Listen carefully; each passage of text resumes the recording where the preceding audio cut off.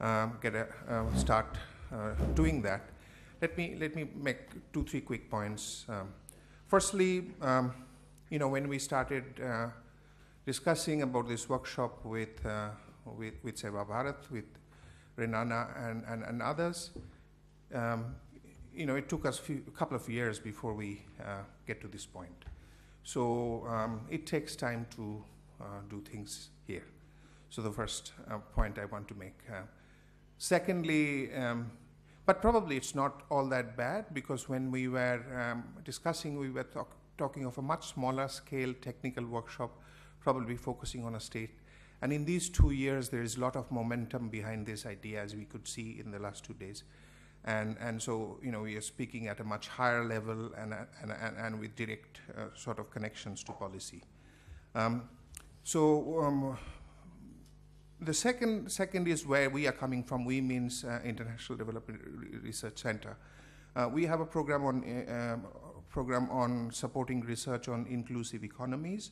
And th that looks broadly at labor, labor policy, minimum and living wage, labor standards in factory floors and value chains, uh, women in labor force, uh, women-owned enterprises, youth employment, and a whole lot of interventions on, on, uh, on uh, focusing on financial inclusion, um, targeting women and youth. So that's, that's the program which is supporting this workshop. So that, that's where our interests are. And so when we saw these uh, pilots in Madhya Pradesh and, in, and in Delhi, we thought, you know, this is a really important issue an instrument of finan financial inclusions that we should um, that we should um, support more discussion and, and better understanding, uh, uh, you know, in our in our in our poverty poverty reduction work. Thirdly, um, in terms of the discussion in the last last two days, uh, I, I, want to pick up three three of the, three of the important, very important issues for the next steps. First is, you know, in terms of um, defining the universe, universal basic income. So what, what is that universe uh, for, for India? Or for the first phase of, uh, you know, bigger sort of uh, experimentations, trials. and related to this issue of, um, uh, you know, targeting um, and, and wrongful or rightful inclusion and exclusion related to that issue. That's the first big block that has to be operationalized. Um, the second big big block is, of course, the politics of it. The whole, you know, the state's preparedness, who is ready, who are the champions, where you can get uh, get get to uh, at the next level. And and third is um, this issue which Shekhar has articulated most eloquently in the previous session, is the issue of regressive subsidy system, phasing out some of the universal subsidy system and moving on to the to the basic income sort of um, transition. And, and, and there, I think, um, um, you know, my take on this is that we should exclude some of those subsidies in this discussion on basic income for a variety of reasons, and, and, and that being, you know, the, the programs on health and education. They are completely different category of, of things compared to, say, um, subsidies for fertilizers or, or kerosene. Let us take health in point, just to clarify that point. You know, health is not just uh, people seeking health care for health problems. Health is a much bigger conundrum that includes preventive, uh, promotive, and other aspects. And, and therefore, if you look at you know, two top success stories of health in India, you would have to talk about um, polio eradication, you'll have to talk of decline in uh, HIV incidence, new infections in India, which are both in the preventive domains. And, and therefore, so, you know, putting, uh, reducing health to just, you know, health care um, is, is probably a very myopic way of looking at it. And, and, and let us not forget that there are only uh, 27,000, 28,000 doctors at the primary healthcare level for 830 million people still. So it's, it's, it's a very different discussion from fertilizer subsidies. Similarly, education sector will also have similar sorts of discussions. So, um, so with these observations, let, let me quickly move to, move to Renana and, and then to Guy, and then maybe you know one or two comments if we if we get a chance. But if we not, I hope you know we'll still be able to capture uh, some of the more concrete steps uh, forward. Thank you. Um, thank you very much, Anindya. And uh, also thank you to uh, all our speakers and participants and chairs. Um, there have been a lot of suggestions which have come out, which we will be putting into a sort of way forward.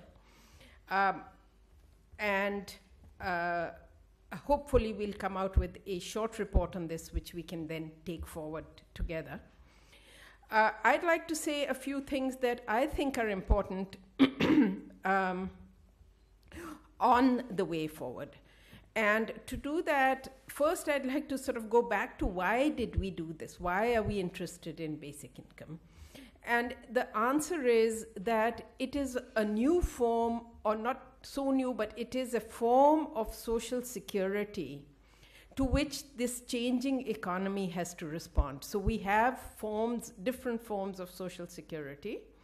Um, here we only discussed government uh, government subsidies and schemes, but there are other forms too, which we haven't discussed here. But the economy is changing, people are changing, governments are changing. What is a new, what is a form of social security that is, um, that fits this new changing, or this changed economy, the most insecure economy? And that is where this idea of basic income comes in. So it's a uh, it's really to put something in place because the economy is becoming different from what it was 60 years ago. Um, given that, uh, our, and I would say, I'm now saying from SEWA's point of view, our view would be um, this must reach the, la- the bottom 50% and then the last, the last but definitely the bottom 50%. Does it benefit them? And that is what we need to keep uh, looking at or seeing in, and for our point of view, how does it benefit women? um, what are some of the way forwards that did come out? I think something that's come very strongly is that we're a huge country. We have so many schemes, we have so many ideas.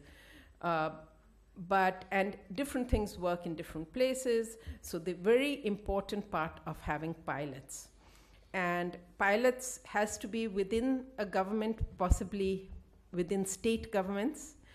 But also uh, something that i'd like to say is the importance of people doing or organizations actually doing pilots.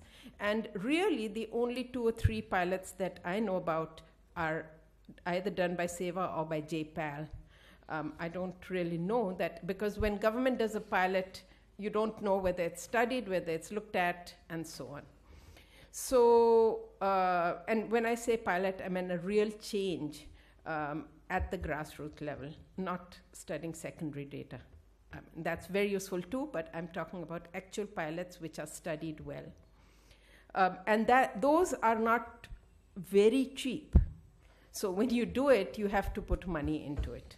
So I think this thing, this came out very strongly, the need for different types of pilots in different situations.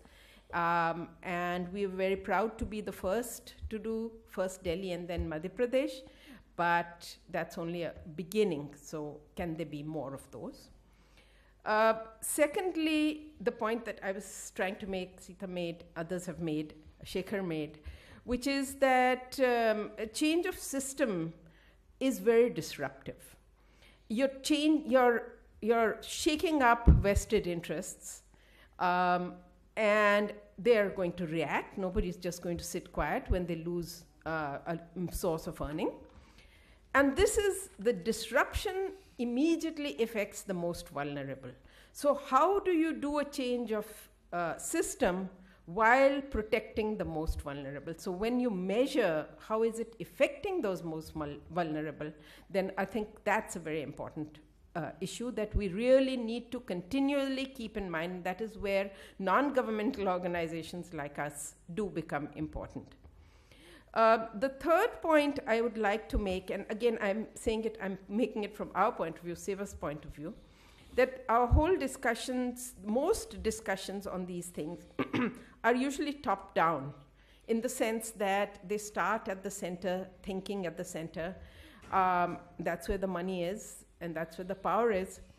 But finally, you do have to build up opinion among the people, uh, among elected representatives, um, among those who are actually um, actually administering. And to do that, we go back to these pilots, which can be very small, because people on the ground, and this I'm saying from our experience in the villages or in cities, want to see before they can commit. So, unless they see that, oh, yes, this does change our life to the better, or you can bring people in to see that, okay, this group really did better by going to cash. You have to do, if you want to build up people's opinions, then you have to do things on the ground, A, and B, you have to spend enough time and energy to spread this out, which is why we asked SEWA Madhya Pradesh to present that small campaign that they're undertaking. So I think this widespread information, not only at this level and in journals, but actually on the ground, is a very important area.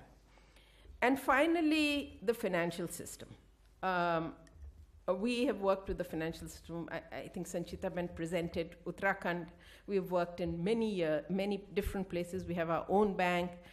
And actually, um, uh, this is a very thorny problem. You cannot say it will just happen. It won't just happen. Uh, and we feel that the uh, agent system, as Pavan said, the agent system is possible given the right incentives. Incentives will definitely come down. But it's not just incentives. It's incentives, it's technology, it's support, and it's literacy. So the whole assisted reaching the last mile is extremely important. And the second point is the unassisted, the cashless, the digital. That, you know, we talk about it and it hasn't really happened. So how to make that happen even at the last mile, you need a huge amount of digital literacy. I'm talking especially about women. Um, so I think a lot more experimentation, investment needs to go into both the BC model as well as into the cashless model. And these are areas of intervention that I especially wanted to highlight. Thank you. Thank you, Renana. I'm going to stand up. Okay, sure.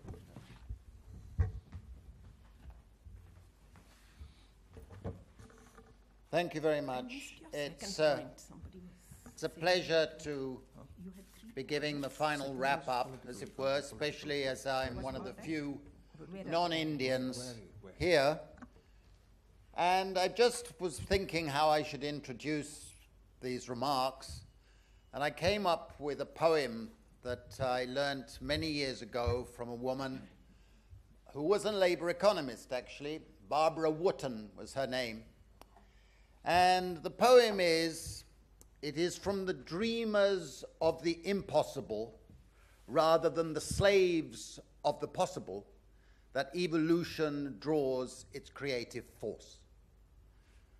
And I think uh, that affects my whole thinking about this subject.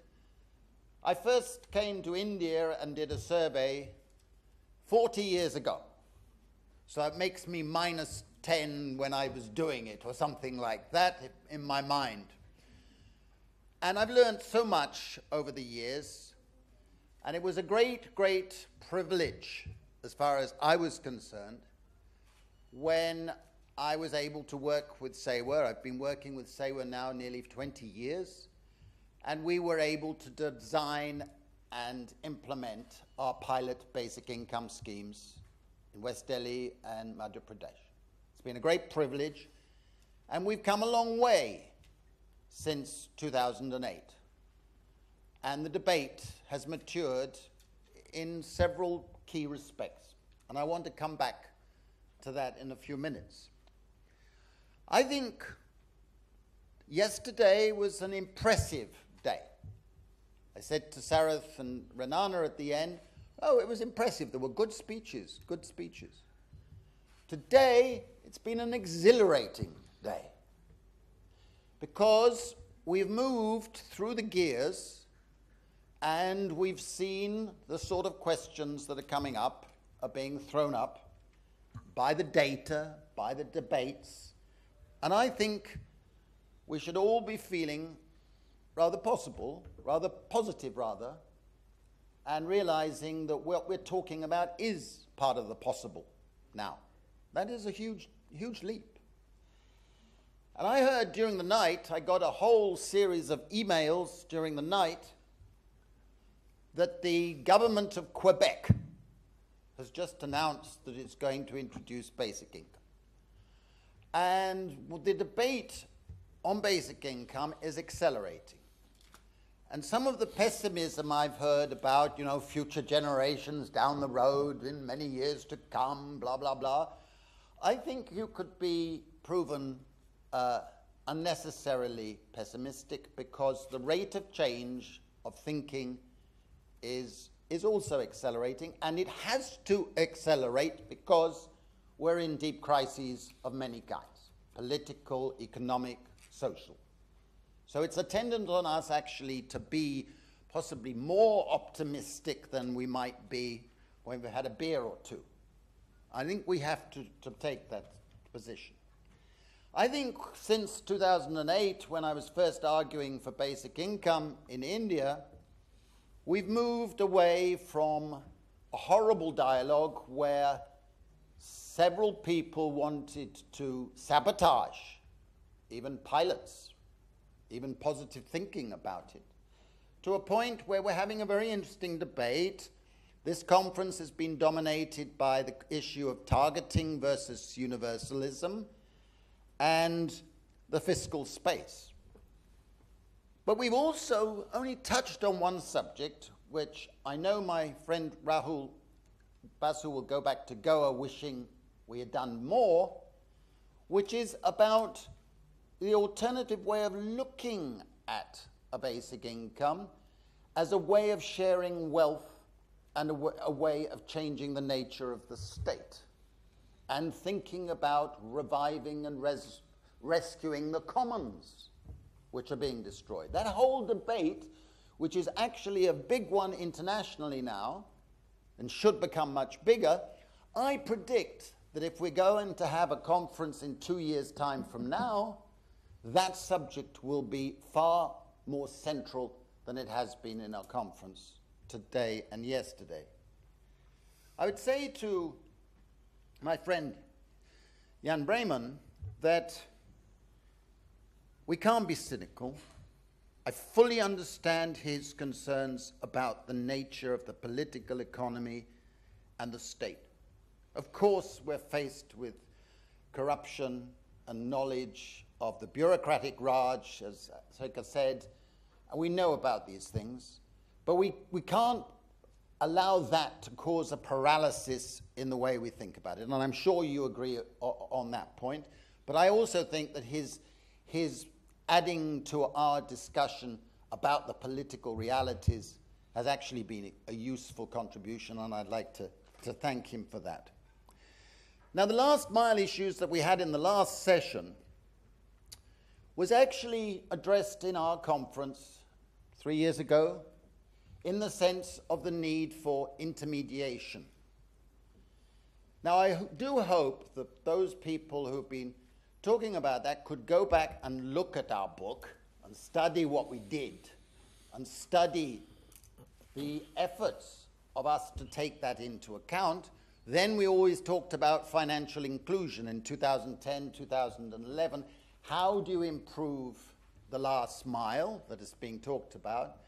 And the experience that we gained, after all covering, you know, thousands of people, I think is very important. And the role that a voice organization can play in that is something that we haven't really talked about. And it's partly our fault because we haven't talked enough about that aspect of our study. I think it's the first time that a study of basic income has been conducted where we've tried to compare the effect of voice or places with, uh, uh, with other places that didn't have voice. You know, that's a design feature that we haven't emphasized enough, but it hasn't been introduced in cash transfer schemes in general. Very rare. And that leads me to the methodological point I want to emphasize, because I think this has come up uh, subtly in the last few years. We must respect diverse methodologies. We must respect that we can't evaluate any policy, any change with a single methodology. I happen to believe that randomization and randomized control trials are valuable. But I don't believe they should crowd out other forms of research. I had a debate with Angus Deaton recently about that, and he said, I thought you were a total randomista. I said, no. I think we learn a hell of a lot more from combination of methodologies and from anthropological research. And in our book, I found we ended up by emphasizing so much knowledge that we gained from our case studies, so much knowledge that we gained from our institutional research. And it's very, very important if there are going to be more pilots, and I hope there will be more pilots because I agreed with the several points that successes in pilots will help erode inertia in political terms as well. I'm all in favor of that. But allow for the diversity of methodologies and respect for different methodologies. I plead with all of us to respect the need for pluralism in this regard. And nothing can replace feel People who have feel for development. There's one thing I've learned since 1977, uh, 40 years of fieldwork experience, is that you learn feel. And there's no replacement for that. No degree of sophisticated statistical analysis can replace feel. And that feel will feed into the design of surveys, design of questionnaires, going out and collecting the information and interpreting a story. Because ultimately, policy change and basic income is about enabling people to learn and tell a story. And that was why it was so valuable to have some of these people from Godecode and elsewhere participating in our conference. Now, I'm in a strange position. I've been advocating basic income for 30 years. Our Bien, please join Bien, our basic income Earth network. And I found that in the last three years, among my colleagues, there has been skepticism about pilots, the value of pilots. Many of them say we don't need pilots. We establish the need through philosophical, the reasons I was giving at the beginning of our conference, why have pilots? But the obvious reason is I would say come to India and you will see why you need pilots. Because pilots help to alter the debate and alter the capacity of people to understand. You or I, as an individual, may not think we need pilots, but we do need pilots because that will help in the political legitimation. And in that regard, I want to make one caution, one note of caution about choice experiments and about certain type of randomized experiments. Because choice experiments, if you give a person a choice and you give the say, everybody in this room a choice of whether you go for a basic income or, or food you take away the network and community effects. Because 30% may choose one, 30% choose another, 30% choose another. But that means that you don't have a community wide effect in economic terms, in social terms, in philosophical terms, and so on. I think choice should be treated as one type of experiment, but we need community level experiments most importantly. We've found the network effects, like that cooperative outcome, are fundamentally important. And if you neglect that and then you do the low hanging fruit hypotheses, you won't get to the fundamentals. Now, the last point I want to mention is that it's going to take intellectual courage not only by the researchers, not only by the politicians, but also by the funders. And I plead with those who are linked to funding agencies that even in these politically difficult times, to find ways of encouraging social policy experimentation that are geared to social inclusion, social solidarity, and a new income distribution system. It's a long battle, but we should all be part of it. Thank you very much. Thank you. Thank you, Guy. I think this is a very, very nice closure point. I don't think we need many more comments after this. And so may I request Sarath to take over and so that we may go to lunch and have some more informal networking. Thank you.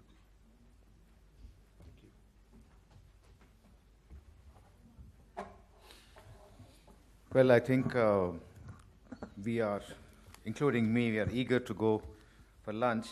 But um, I'm really accelerated and very, very happy because as uh, INBI, this is our first big uh, activity, and I'm really, really happy.